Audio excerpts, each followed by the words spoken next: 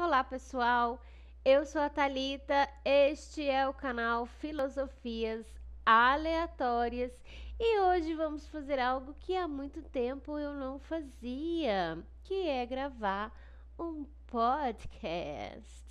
Sim, pessoal, se vocês não sabem, temos dois ou três episódios aqui de podcast. Vou deixar inclusive um podcast que eu falo que é quase inevitável falar podcast. Ao invés de podcast, já que estamos no Brasil, vamos fazer o favor. Então, vou deixar a playlist aqui para vocês, ok? Para vocês conferirem uh, assuntos aleatórios.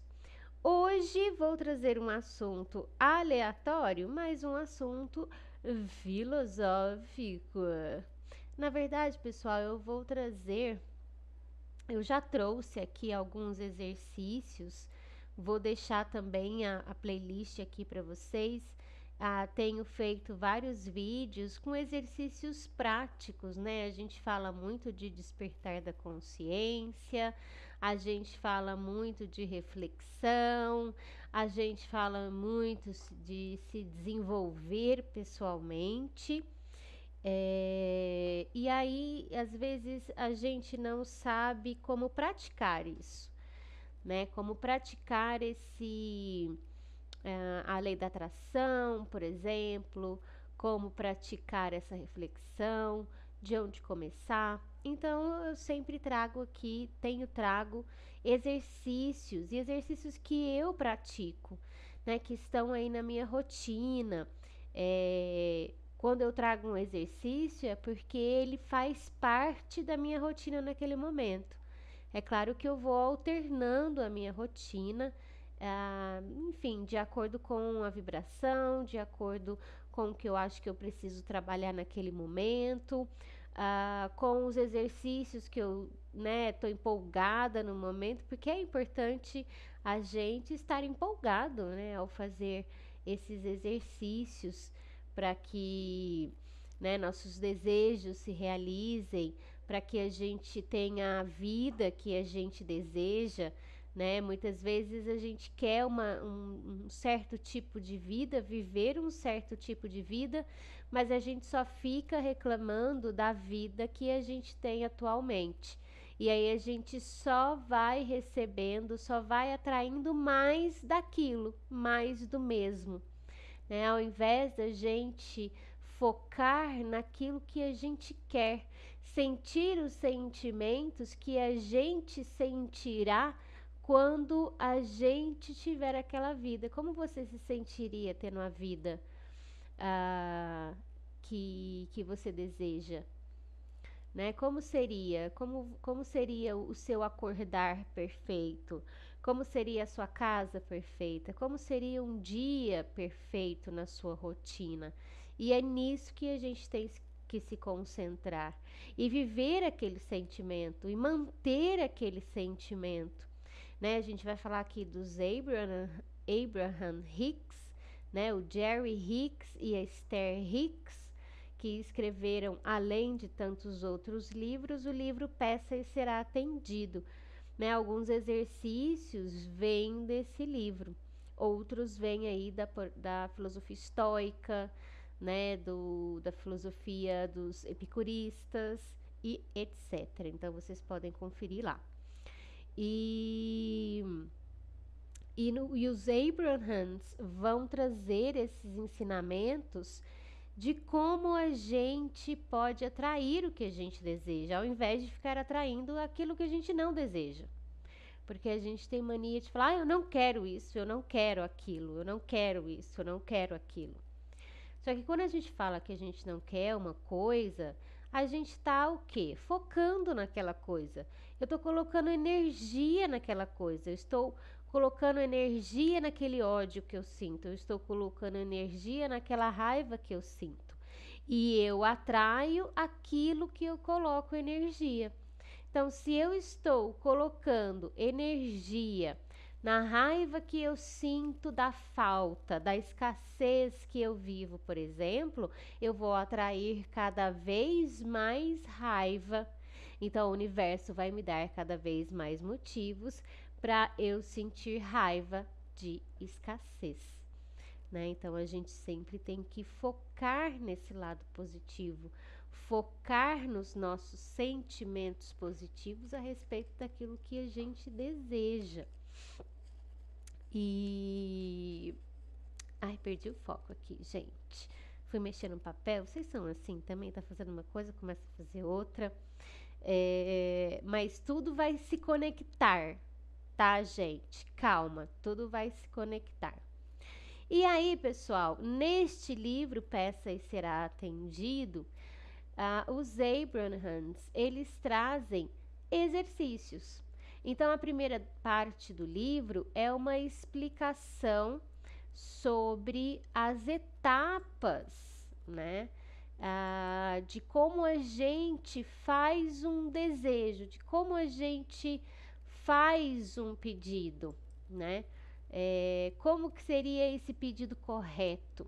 Porque às vezes a gente é isso, a gente quer uma coisa e pede o contrário, né? A gente foca, a gente quer um, uma casa, mas foca na raiva que tem de morar no apartamento. E aí continua com raiva e continua morando no apartamento para continuar com a raiva que está sentindo, que é onde a energia está sendo colocada.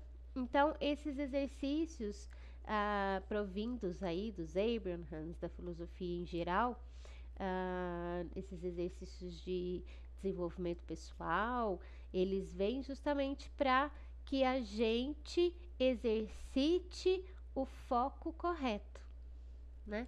Uh, o olhar correto. O budismo tem isso, o, o olhar correto, a ação correta. E para a gente fazer isso, a gente tem que estar o quê? Atento, né? A gente tem que estar presente. A gente, né, tem que praticar aí a escuta, agir ao invés de reagir. A gente fala muito isso nos vídeos aqui do canal. Agir ao invés de reagir. E para isso a gente tem que estar o quê? Consciente, a gente tem que estar presente. E aí vou falar um pouquinho então deste livro e vou é, e, e no fim vou contar né uma coisa que aconteceu hoje comigo e que tem a ver com é, pedir e ser atendido. Eu fiz um pedido hoje e eu fui atendida em muito pouco tempo, né? E estou aqui agora gravando esse podcast com vocês. Então, uh, hoje eu estar fazendo um podcast. O livro Peça e Será Atendido. É, e as etapas né, de, de se fazer um pedido e ser atendido é, até é, eu chegar aqui no dia de hoje. Então vamos lá, pessoal. Na primeira parte do livro, então, a gente vai ter as três etapas para a gente conseguir aquilo que a gente deseja, né? Os principais pra, passos, né, para ser, fazer ou ter aquilo que você deseja. E a gente vai falar um pouco dessas três etapas. A primeira etapa você pede, é, é pedir, consciente ou inconscientemente. Quantas coisas você ganhou, você comprou, você teve, quantas experiências você viveu que depois que você viveu essa experiência, ou enquanto você estava vivendo essa experiência, ou ganhando algo, ou comprando, ou fazendo algo, você pensou: nossa, um dia eu vi isso e quis isso. Né? Mas eu não fiquei pensando nisso depois. Foi uma coisa tipo, tão automática, sei lá, passei na loja, vi uma bolsa, nossa, que bolsa linda. Ai, quero essa bolsa para mim. E foi embora. Né? Só simplesmente é, desejou aquela bolsa, desejou inconscientemente, né? Não foi uma coisa que você pensou, nossa, eu quero muito essa bolsa, meu Deus, eu preciso comprar essa bolsa, ficou enlouquecida com a bolsa, e eu tenho dinheiro para comprar a bolsa, vou pedir dinheiro emprestado para comprar a bolsa. Não, você simplesmente olhou, né, com desapego, você simplesmente viu uma coisa bonita que te agradou e você quis aquilo, né?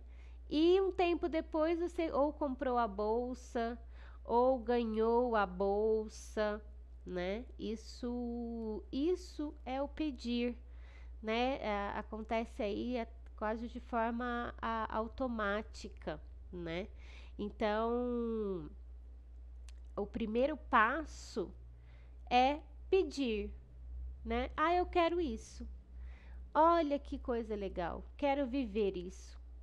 Nossa, olha, eu quero ser esse tipo de pessoa, né? Me parece é uma pessoa índole, me tem a ver com é, com os meus valores, enfim, o que você quiser, né? Lembra ser, ter ou fazer, tudo que você quer ter, ser ou fazer, tá? Na etapa 2, o universo responde para você. Então, assim, você tem que pedir. E aí, gente, é o pulo do gato de você acreditar 100%.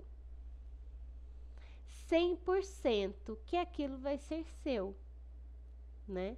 E que se aquilo não for, for seu, não vai ser seu, porque outra coisa muito melhor vai estar à sua espera, que vai vir no lugar daquilo.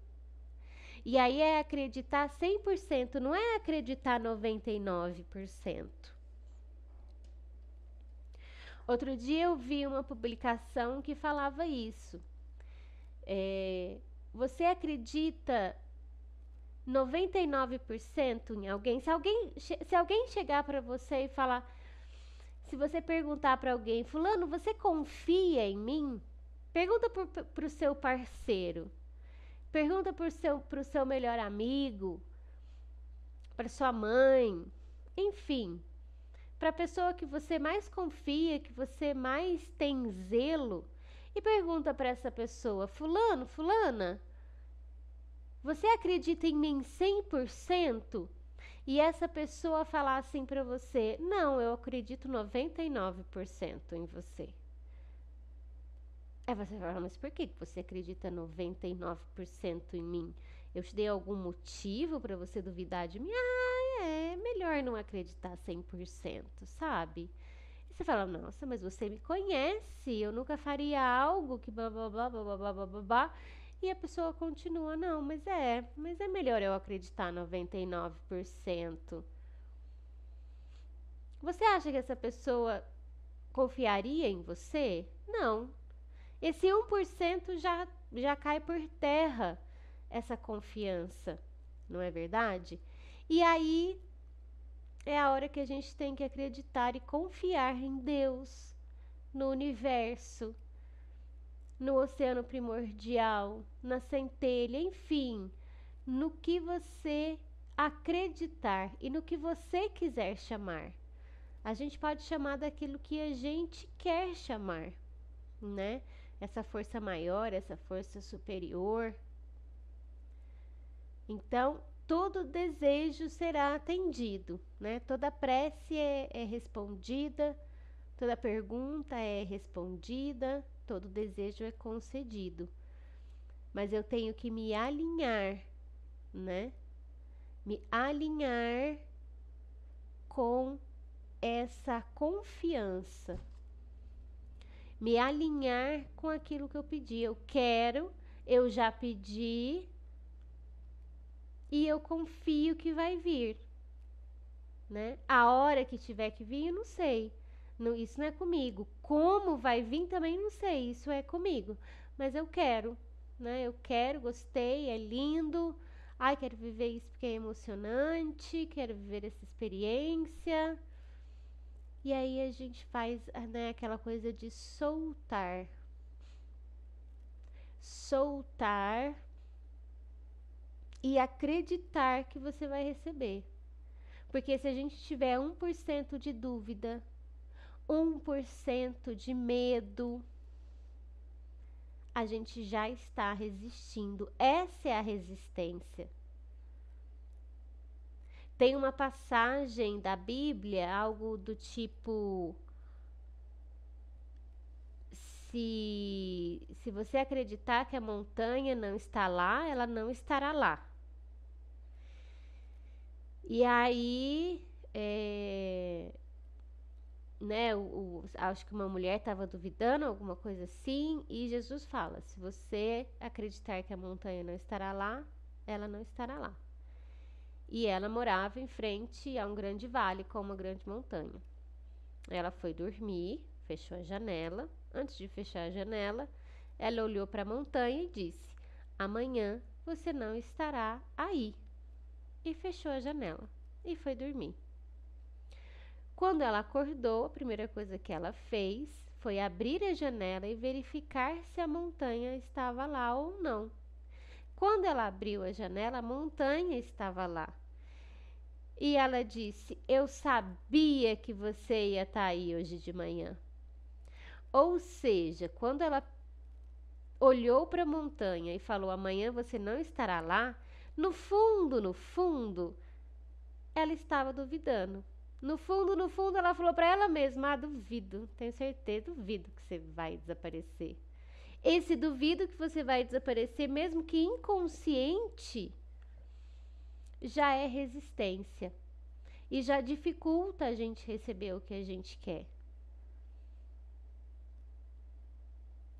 Então é importante, né, que a gente não duvide. E aí é hora de trabalhar as crenças, é trabalhar os, pra, os padrões, entender os paradigmas e usar os exercícios porque muita coisa que impede a gente de receber é justamente essas crenças, crenças de que eu não posso receber isso, de que eu não sou digna. Ah, eu duvido que uma coisa dessas aconteceria comigo. Né? Ah, acontece com todo mundo, mas comigo não acontece. Ah, eu não tenho sorte. Isso tudo tá deixando com que a gente receba o que a gente quer. A gente não pode duvidar. A gente pede para o universo e acredita que vai vir. Mas acredita 100%, tá? E aí tem uma passagem aqui que diz, né? É, em Marcos 11, 24, o próprio Jesus disse: Por isso vos digo que tudo o que pedirdes orando, crede que o recebeis e tê-lo-eis.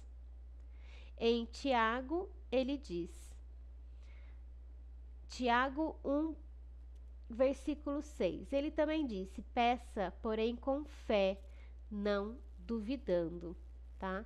Então é isso, a gente tem que pedir e depois viver como se a gente já tivesse recebendo isso. Os Abrahams falam muito é, de manter essa energia vibratória, de manter essa energia de que eu já recebi, ah, se eu já tivesse recebido aquilo que eu queria, como eu estaria me sentindo? E sentir aquilo, sabe? E sentir aquela emoção. E esse é o exercício, a gente tem que parar para fazer isso. A gente tem que parar para visualizar a gente vivendo o nosso sonho. Sentir aquele arrepio. Aí vem um sorriso no rosto o sorriso acontece inevitavelmente. Porque eu estou sentindo aquilo, aí eu começo a ficar empolgada, eu começo a ficar feliz. E aí esse sentimento eu tenho que segurar ele. Quanto mais tempo eu seguro esse sentimento, mais fica carimbado no, no universo. E aí ele vai trazer o que? Ele vai trazer mais daquele sentimento porque a gente está focando na alegria, na felicidade, na realização, na empolgação. Entende? E aí eles falam da gente tentar manter no mínimo até uns 68 segundos. Se a gente conseguir manter por 68 segundos essa energia vibracional desse desejo realizado,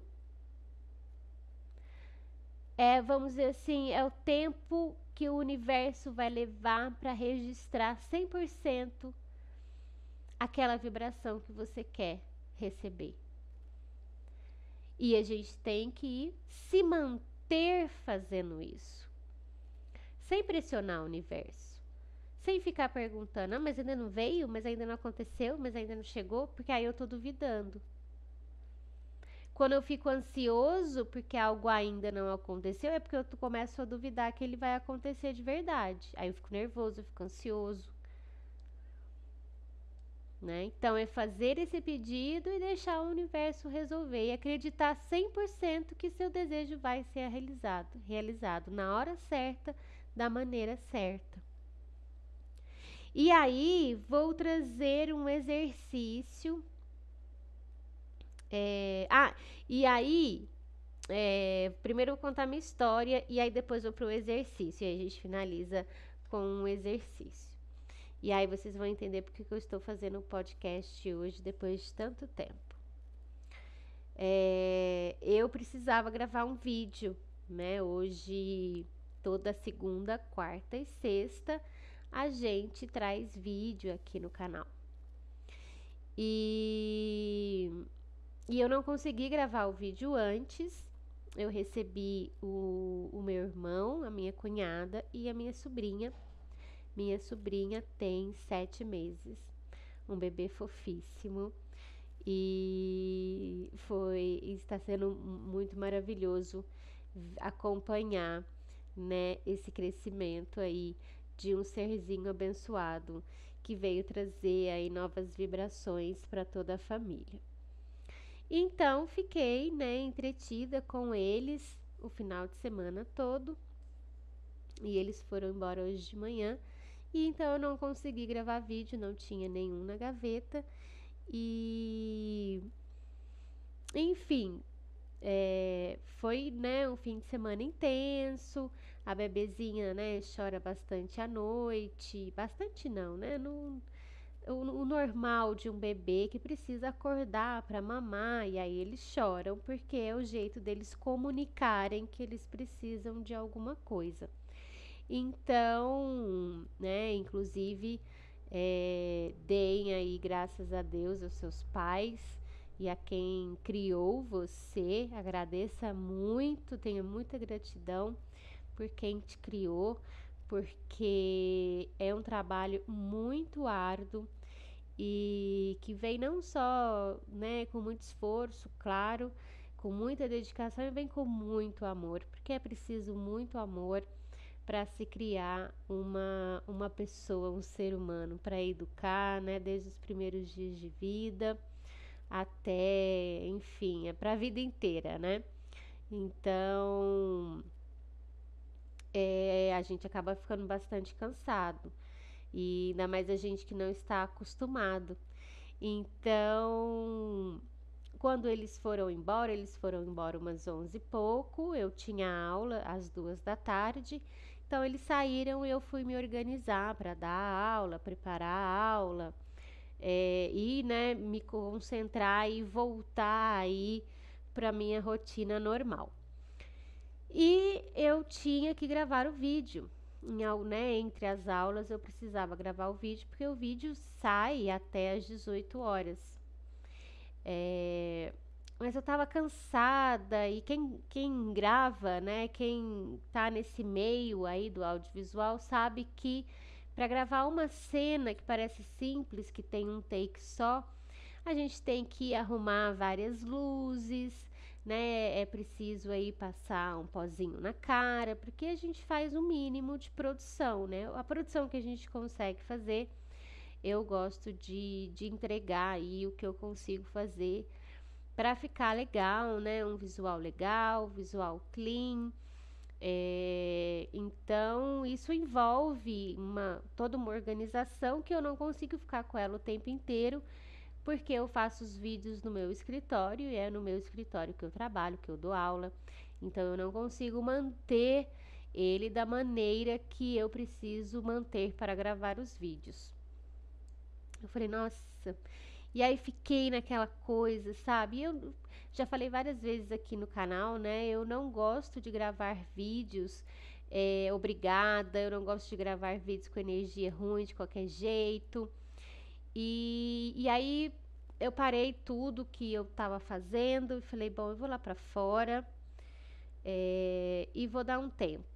Vou pensar, né? E eu sabia, falei, universo, eu sei que eu tenho que gravar um vídeo, eu sei que eu tenho que postar o meu vídeo, mas o que que eu vou fazer, né? Como que posso fazer para que seja de uma maneira leve, que fique leve e que eu passe leveza, que eu continue passando leveza, né? Um dos objetivos desse canal é isso. E aí deitei na rede, fiquei ali olhando o, o pôr do sol, o sol estava se pondo, eram os últimos restinhos de sol, e aí me veio, né? Depois que eu tava quase cochilando assim. É, aí o, o, meu cachorro, eu tava com o meu cachorro, aí ele começou a latir. Eu assustei, acordei e lembrei, falei, nossa, tem que gravar o vídeo. Aí nisso eu falei assim, nossa, posso gravar o podcast porque aí a produção é bem menor, eu só tenho que gravar a minha voz, é bem mais tranquilo de fazer e eu consigo trazer essa leveza que eu sempre gosto de trazer, né? Trazer informação, trazer, trazer reflexão e trazer exercícios práticos também. Então, é, eu pedi para o universo, né? Eu, eu falei para o universo, eu conversei com ele. Ele entendeu o que eu queria, né? Eu queria eu queria um conteúdo para o canal, mas eu queria um conteúdo que não exigi, exigisse tanto a energia que exigiria para um vídeo, né? Que eu não teria tempo para fazer tudo isso hoje. Por um bom motivo, já que eu estava, né, com a minha família, curtindo a minha sobrinha, Ai, gente, que fofura. Então, assim, tudo se encaixa. E aí, cá estou eu. Daqui a pouco o vídeo já está no canal e ainda não são nem 5 horas. Então, vamos aí, gente, para o final deste podcast, onde eu vou trazer então um exercício. Esse exercício faz parte do livro Peça e Será Atendido dos Abraham Hicks, que são esses exercícios que a gente faz para manter as nossas crenças, né, para limpar as nossas crenças, para manter o nosso foco naquilo que a gente realmente precisa manter o foco para que nosso pedido seja atendido, beleza? Esse exercício chama escalada da contemplação, tá? É, como que ele é feito? Ele é bem simples. Você vai escolher algo, escolha um objeto ao seu redor que você goste, que lhe traga boas sensações. Pode ser a sua cama, pode ser uma pessoa, pode ser uma roupa, um, um agasalho quentinho, pode ser o seu cobertor, pode ser um cantinho da sua casa, enfim, uh, qualquer coisa que você goste muito. Ah, eu aprecio esse objeto, eu gosto desse canto, eu gosto dessa pessoa, né? E fique contemplando né? Saia na sua casa, fala, ah, eu gosto desse cantinho e fique contemplando esse cantinho. E sinta o tanto que ele é gostoso. Sinta o tanto que esse cantinho lhe dá prazer. Como que ele é confortável, a felicidade que você sente de poder usufruir daquele cantinho. E faça isso com um objeto. Se for uma roupa, nossa, como essa roupa é quentinha como esse tecido é gostoso. Ai, quando eu uso essa blusa, eu me sinto abraçada. Né? Eu me sinto como se eu tivesse é, num sonho gostoso, numa cama quentinha. Sinta, por, né? Sinta essa alegria de ter esse objeto. E sinta né, esse porquê. Vá, vá, vá colecionando essas boas sensações que esse objeto, que essa pessoa, que esse cantinho da sua casa lhe traz. Aí, a hora que você terminar de contemplar esse objeto, vai para outro, procura outro. Então, você estava naquele cantinho da sua casa, aí você olhou para sua estante e viu um livro que te traz ótimas memórias, tem uma dedicatória de uma pessoa que você ama, Pega o livro, contempla a dedicatória, né? Lembra como foi gostoso receber o livro, sente o tanto que é gostoso ver esse livro ainda hoje, essa dedicatória ainda hoje, sinta o amor daquela dedicatória. E vá fazendo isso por 15, 20 minutos. Quanto mais a gente faz, melhor é o resultado, né, gente? É igual ir para academia. Quanto mais horas a gente passa na academia, mais rápido a gente obtém o resultado físico que a gente quer, não é verdade? Então é isso, pessoal. Espero que vocês tenham gostado. Se vocês gostarem desse formato podcast, escreve aqui embaixo nos comentários, tá bom? Vejo vocês no próximo vídeo. Se inscrevam, curtam esse vídeo, comentem e ah, compartilhem com quem você acha que vai gostar. Um grande beijo. Tchau.